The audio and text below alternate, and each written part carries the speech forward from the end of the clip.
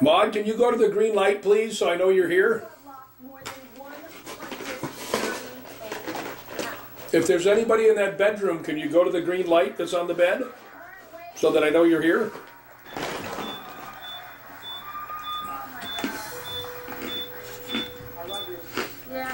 Well, hi. I'm glad you're back.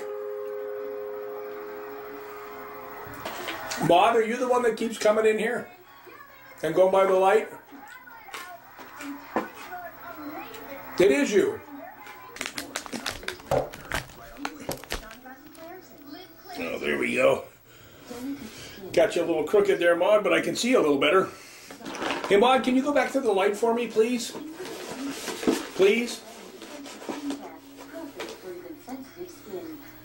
Thank you so much. Maude, I'd really like to have you show come to me. Show yourself to me. I'm a really nice guy. You won't scare me, you, you know. We could talk. If there's anything I can do for you, I'd love to do it. Really?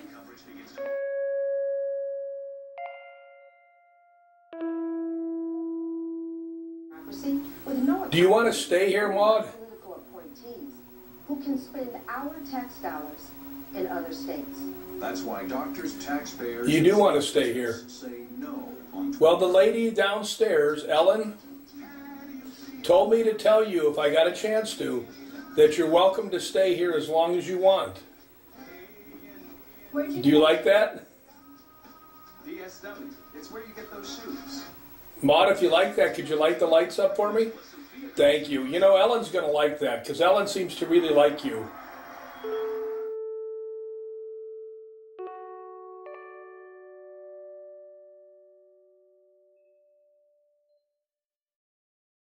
You did Hi, Maude. I'm going to turn off the recorder now so that you can get a chance to rest because you've been you've been pretty busy with me. This is really nice. He was on a mission to get himself.